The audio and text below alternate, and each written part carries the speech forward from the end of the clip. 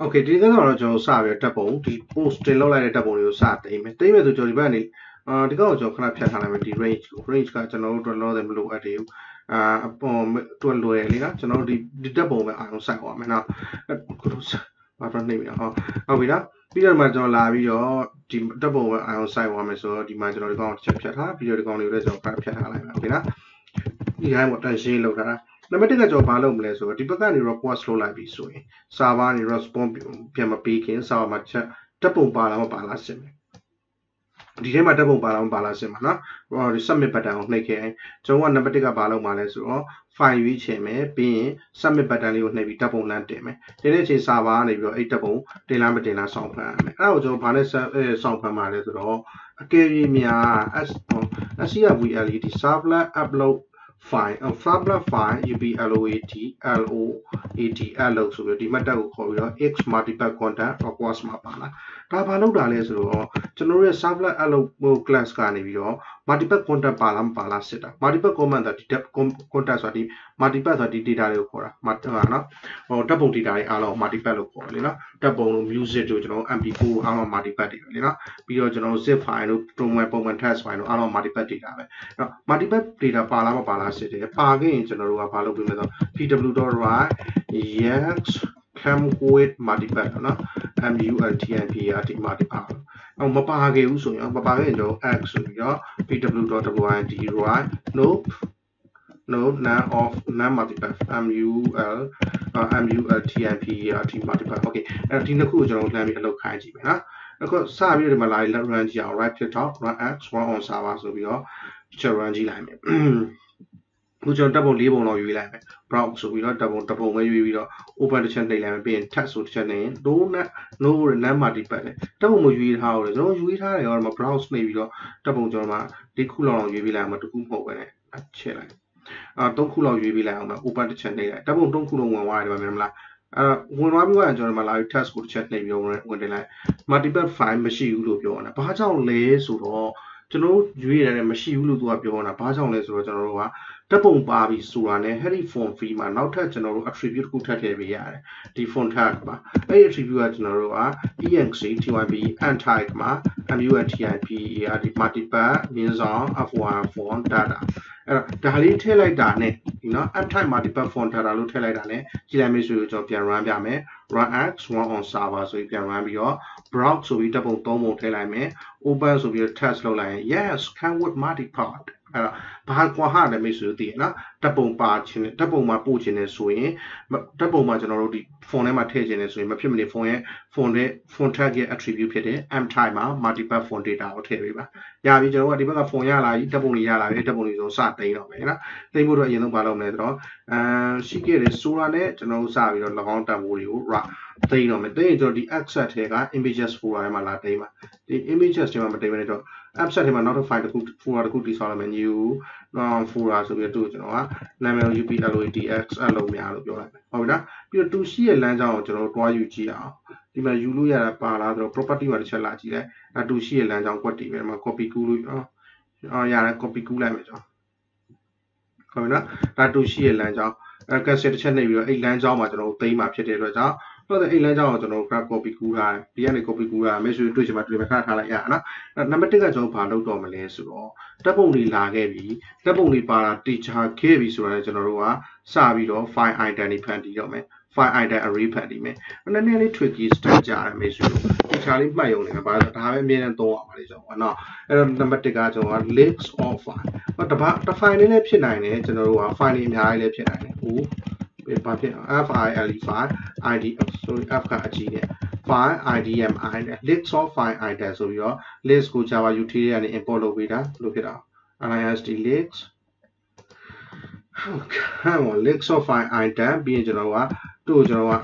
IT ITMS item များလို့ပြလိုက်မယ်အဲဓာတ်ပုံကတပုံလဲဆိုရင် item တစ်ခုတည်းအများကြီးဆိုရင် item တွေအများကြီးပေါ့ဟုတ်တယ်မလားပြီးတော့သူတို့သူတို့ကျွန်တော်ပြရမယ် new scrv servlet file upload control space ပါခေါ်တာပြီးရင်ကျွန်တော်ဒီမှာတစ်ခါကြည့်ထားနော် server file အလုပ်ကဘယ်ကနေ import လုပ်အောင် apache ကနေ import လုပ်အောင်မယ်ဆိုတွေ့လိုက်တာ ဒီ Apache ရဲ့ Tomcat UT HTTP file အလုပ်ထည့်ရတယ်နော် Okay အဲ့ဒါသဘောပေါက်ပြီဆိုမိတ်ဆွေတို့ကစပြီးတော့ကျွန်တော်ကသူတွေကိုတန်ဖိုးတစ်ခုပေးရမယ်သူတရားအလုပ်မလုပ်နိုင်ဘူးဘာဘာတန်ဖိုးတောင်းလဲဆိုတော့ display file တောင်းတယ်အဲ့ဒါ disk display file ဆိုပြီး control display bar နေလိုက်ကြည့်လိုက် display file မှာကျွန်တော် parameter ဘာမှမလို့ခေါ်တဲ့ဒီကောင်ကိုယူလိုက်မယ်ဟုတ်ပြီနော်ပြီးတော့ကျွန်တော် dot လို့ပြောလိုက်တာနဲ့တူလို့ကျွန်တော်တို့ပြပေးလိမ့်မယ် PRSC pass parameter အာ pass parameter map ရှိတယ် pass request ရှိတယ်ကျွန်တော်က request ထဲအ line မှာဖြစ်တဲ့ကြောင့်ဒီတတိယတစ်ခုဖြစ်တဲ့ pass request ကိုယူပေးတာအဲ့ဒီ request ကဒီ request ကကျွန်တော်တို့ request တစ်ခုတောင်းနေတာအဲ့ request ကမေးဆိုတိုက်ကကြည့်လိုက်ပါတိုက်လဲဆိုတော့ကျွန်တော်ထင်တာကျွန်တော်အပေါ်က request ရှိရဒီဒီ request ကိုတော့ပြင်အလုံးမလုံးမေးဆိုလာပေးစီ request request ဆိုပြီးတော့တော့ပြလိုက်ရင်အလုံးမလုံးပဲနဲ့ပြဿနာရှာနေလိမ့်မယ်။ဘာကြောင့်ပြဿနာရှာနေလဲဆိုတော့သူကဒီ pass request ကသူတောင်းနေတာက servlet http servlet request ကို အမ်တောင်းနေတာမဟုတ်ဘူးသူကကြတော့ request context ကိုတောင်းနေတာ servlet request context ကိုတောင်းနေတာကျွန်တော်တို့က http servlet request ကိုပေးနေတာဒီကောင်က servlet request context ကိုတောင်းတာဖြစ်တဲ့ကြောင့်ကျွန်တော်တို့က new servid servlet iqsd request contact ဆိုပြီးခေါ်ပြီးဒီမှာ servlet request contact လို့အောက်မှာလာရင်ရအောင်ပုံမှာတွားရေးလည်းကြော်ပြရေးပြမယ်နော်ဒီမှာ new servid servlet iqsd request စီပဲရေးလိုက်ပါ contact ဆိုတူလို့ပြပြီနော်ပြီးမှကျွန်တော်တို့ကကျွန်တော်ရဲ့ request ကိုလှမ်းပြီး pass ရှင်းလမ်းလုပ်ပြီးအဲ့တော့ကျွန်တော် request ကို servlet request contact ဖြစ်အောင် pass လုပ်တယ်ပြီးတော့မှကျွန်တော်တို့က pass record ကိုလှမ်းခေါ်ပြီးလိုက်တယ်အဲ့ဒါဆိုကျွန်တော်တို့ဘာရလာကြလဲဆိုတော့အဲ့ဒီ file item တွေအားလုံးရလာပြီအဲ့တော့ကျွန်တော် import ဆိုပြီးတော့ java ut တွေက file list ကို import လုပ်ထားမယ် file item မှာလည်းကျွန်တော်ကဒီ op apache tomcat ut http file အလုပ်က file item ကိုတစ်ချက်ရေးလိုက်မယ်ဒီမှာကျွန်တော်ပို့ပြီးတိတာအောင်လို့ file ဟော file item လို့ပြီးရဲကျွန်တော် muntipers multipath များလုပ်ပြီးလိုက်နော်နောက်တစ်ချက်ကကျတော့ဒီကောင်ကကျွန်တော်အမြဲတမ်းမမှန်နိုင်ဘူးအဲ့တော့သူ့ကျွန်တော် strong word try and get ဆိုပြီးဝင်ရပေးထားလိုက်နော်အဲကဲဒီများဒီအမှားပါလာခဲ့ရင်ကျွန်တော်တို့ကအာ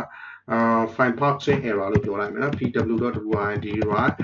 file file prsing parsing error လို့ပြောလိုက်မယ်ဒီအမှားကိုကျွန်တော်သိချင်လို့အဲကြောင့်လာပြီး override လုပ်လိုက်တယ်နော် okay နောက်တစ်ချက်ကကြတော့ကျွန်တော်က file entry ရလာပြီဆို၎င်းကိုကျွန်တော်တို့စေရရမယ်စေမယ်ဆိုကျွန်တော်တို့စေမဲ့လမ်းကြောင်းလိုတယ်လမ်းကြောင်းပေါ်တိုင်ခင်ကျွန်တော်၎င်းအားလုံးကို for နဲ့ loop ပတ်လိုက်မယ်ရလာမဲ့တန်ဖိုးတစ်ခုစီက file item တစ်ခုစီအဲတော့သူ့ကိုကျွန်တော် item လို့ပဲပြောလိုက်မယ်ဘတူကို loop ပတ်ရင်လည်း multiple file ကို loop ပတ်ရင် ဟုတ်ပြီနော်အဲ့ဒါဆိုရင်ကျွန်တော်တို့က file item တစ်ခုစီရလာမယ်၎င်း item တစ်ခုစီကဒီဒီ item တစ်ခုစီကကျွန်တော်တို့ form value တွေမှာတော့ file value တွေမှာတော့တည်တယ်ဒါပေမဲ့တခါတလေ form fee တွေနဲ့ရောလာတဲ့ခါကျရင်ဒီ request တွေကအားလုံး passing လုပ်ရင် form fee တွေလည်းပါလာနိုင်တယ်ခုတော့ကျွန်တော်ကတပ်ပုံတစ်ခုလေးပေါ့အဆုံးကကျွန်တော်မြင်ခဲ့တဲ့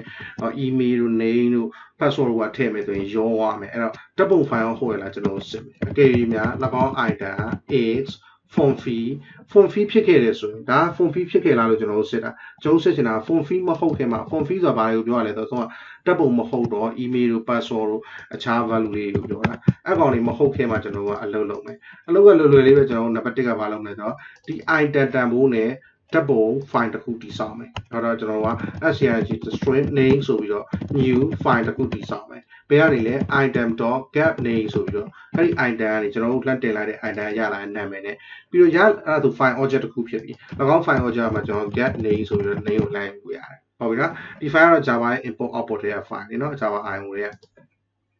okay နော်ဒါဆိုရင်ဓာတ်ပုံရဲ့ file name ကိုရပြီသူ့ကိုကျွန်တော်တို့စေအောင်လုပ်မယ်စေဆိုတော့ item.wind right ဆိုပြီးတော့ပင်လမ်းကြောင်းမှာစေမလဲကျွန်တော်တို့ပြောရတယ်အဲ့တော့ကျွန်တော်တို့စေမဲ့လမ်းကြောင်း scv cpath ပြီးရင်ကျွန်တော်ဗာထည့်ရမလဲဆို file separator လေးထည့်ရမယ်ဒါမျိုးလေးပေါ့မြင်းဆောင်လေးကျွန်တော်အလွယ်ပဲ file.scpere scpere come on se file.scpere ဒီတတိယတစ်ခု IT ကို separator ဒါမြင်းဆောင်လေးကိုပြောရနော်ပြီးရင်ကျွန်တော်ရဲ့ name ကိုထည့်မှာပေါ့ အဲ့တော့ save ဘယ်လမ်းကြောင်းမှာတိမ့်ပါလဲအဲ့လမ်းကြောင်းကိုကျွန်တော်အပေါ်မှာအလွယ်ပဲလာတိစောက်ထားလိုက်မယ်အမ်ဒီလိုလာပြီးတော့ private private တွေပါမလို့ပါဘူးကျွန်တော်တို့က swing internet ကို upload pdf pop လို့ပြောလိုက်မယ်ဘယ်လမ်းကြောင်းလဲဆိုတော့ကျွန်တော် double click double ကုန်းနဲ့နှိပ်ထားပြီးတော့လမ်းကြောင်းသွားယူမယ်ဘယ်မှာတိမ့်ပါအောင်ဒီ upload ထဲမှာ right click ထောက်ပြီးတော့ကျွန်တော်တို့ property ကိုတစ်ချက်သွားလိုက်ပြီးတော့သူရှိတဲ့ link ဖြစ်တဲ့ အာဒီထဲကိုတစ်ချက်သွားလိုက်မယ် location absolute link ကိုကျွန်တော်ယူမှာနော် right click ထောက် copy တစ်ချက်ကူးမယ်ပြီးအိမ်လမ်းကြောင်းဒီမှာလာထည့်ပေးထားမယ် window မှာကျတော့ကျွန်တော်တို့ power slash နှစ်ခုဖြစ်သွားမယ်ဆိုလို့တွေ့လိမ့်မယ်ဒါ escaping လုပ်ပေးတာတစ်ခုတည်းဆိုရင်အာအလုံးမဖြစ်လို့အော်တစ်ခုတည်းဆိုရင်ကျွန်တော်ကဒီ power slash ကိုအလုံးမလုံးနိုင်ဘူးအဲဒီ power slash ကိုကျွန်တော် escaping လုပ်တဲ့အနေနဲ့နှစ်ခုထားပေးတာအော်မိတ်ဆွေတို့ဟိုဥစားပါလဲ platform independent ဖြစ်ချင်တယ်ဆို power slash တွေကိုပါပြောင်းလိုက်လို့ရတယ် forward slash ပြောင်းလိုက်လည်းရတယ်နော် forward slash ဆိုရင်တော့ platform independent window mac ကို linux ကိုအားလုံးကအလုပ်လုပ်လိုက်တယ်နော် okay ဒီမှာကျွန်တော် forward slash တွေလိုက်ပြောင်းအောင်လည်းခဏဆောင်ပြီတခုပဲတော့ forward slash ကကြတော့ပြီးတော့ access ထဲမှာ upload folder အထဲကိုကျွန်တော်တို့တွားမှာဟုတ်ပြီနော်အထဲမှာကျွန်တော်တို့ဒီမှာမြင်းသောမခံတော့ဘူးဘာကြောင့်မြင်းသောမခံလဲဆိုဒီအောက်မှာကျွန်တော်တို့ file separator လေးထည့်ထားတယ်ဒါလေးကမြင်းဆောင်လေးပဲเนาะပြီးရင်ဘောကကျွန်တော်တို့ရဲ့ save လမ်းကြောင်းဖြစ်တဲ့ um upload path ကိုခေါ်ပေးထား up load load pdh path okay ရပြီเนาะအဲ့ဒါဆိုကျွန်တော်တို့ကဒီလမ်းကြောင်းမှာတွား save လိမ့်မယ်ဒီကောင်ကလည်းကျွန်တော်တို့ save တဲ့အခါအမှားဖြစ်နိုင်တယ်အဲ့ဒါဆိုကျွန်တော်တို့က surround with file cache ပြီးလိုက်ဒီကောင်ဘာလို့ surround အာ sorry ဒီကကျွန်တော်လမ်းကြောင်းပဲရှိတယ်သူက file file ကိုရေးပါလေနော် file ကိုရေးမယ်ဆိုတော့ကျွန်တော် new file ဆိုပြီးတော့ကျွန်တော် stupid tutorial ဖြစ်တယ်အခုမှကျွန်တော်ဒီမှာလာပြီးတော့သူ file writing error ဖြစ်နိုင်တယ်အဲ့တော့ cache clause ထည့်ရမယ်နော်ဒီနေရာမှာမှားရင်ကျွန်တော်က file write လို့မရတဲ့ပြဿနာတခါတလေကျွန်တော်တို့ရဲ့ directory ကဟိုဗာလဲ right permission မရှိတာတော့ဗာတော့လေနော်မှတ်မှာဆိုကျွန်တော်ဖြစ်များတယ်အဲ chmod ဆိုပြီးတော့ dash r777 ဆိုပြီးကျွန်တော်ရှင်းထုတ်ပါတယ်နော် pw.wrid right အကိမှားခဲ့ရ င်တော့ file write error လို့ဟုတ်ပြီနော်အဲဒါ permission မရှိလို့ဘာလို့ဖြစ်နိုင်တာပေါ့နော်အဲ့တော့ဒါလေးပဲပြကျွန်တော်ဒါလေးရေးပြီးပြီးပြီအဲ့တော့အကုန်အကုန်ပြီးသွားရင်ကျတော့ကျွန်တော်က pw.wid right file upload xcc esfu1 successfully okay what ha အဲ့တော့ကျွန်တော်လက်တွေ့စမ်းကြည့်အောင် upload successfully နော် အဲ့လိုအဲ့တော့အောင်ခဲ့တယ်ဆိုရင်ဒီတစ်ခါကျွန်တော် file add လုပ်လုပ်မယ်အောင်ခဲ့တယ်ဆိုဒီ add လုပ် folder မှာဓာတ်ပုံတွေရောက်လာမယ်နော်လက်တွေ့ run ကြည့်အောင် run run x run on server okay ကျွန်တော်ဓာတ်ပုံ၃ပုံတော့ဓာတ်၃ပုံတော့ add လုပ်လုပ်ကြည့်မယ် browse တစ်ချက်နှိပ်တယ်အဲဓာတ်ပုံ၂ပုံ၃ပုံ picky 1 picky 2 picky 3 open တစ်ချက်နှိပ်မယ် tab ဆိုပြီးတစ်ချက်နှိပ် file add လုပ် successfully ရဲ့ add လုပ် folder မှာမပေါ်လာဘူးကျွန်တော်မှာ folder မှာ right click ထောက်ပြီးတော့ refresh တစ်ချက်နှိပ်လိုက်မယ်အဲဆိုရင် add လုပ် folder မှာ picky 1 PK2 ကြည့်လိုက်ပုံလေးကိုပေါ်လာတယ် PK1 PK2 PK3 ဆိုပြီးပေါ်လာတယ်အရန်အရန်လွယ်လုံးအားကြီးတယ်နော်အဓိက Apache ရိတ်ကိုကျွန်တော်ကျေးဇူးတင်ရပါတယ်ကောင်ဒီဒါတော်တော်ရေးတာဒါတုံးပုံလုံးအလုပ်လုပ်တာကျွန်တော်တပုံနဲ့အလုပ်လုပ်ချင်တယ်မိတ်ဆွေတို့လုပ်လို့ရ refresh ဆိုပြီးတော့မကျွန်တော် substitute coder png လေးပဲ open တစ်ချက်နေမယ်ဒီမှာ substitute coder မရှိဘူးနော် tag ဆိုပြီးလုပ်လိုက် file အလုပ်တွေဒီမှာ right click ထားပြီး refresh နေလိုက် substitute coder လေးပဲပေါ်လာပြီမှာ okay ဒီကတော့တော့ပဲနောက်တစ်ခါမှကျွန်တော်တွေ့မယ်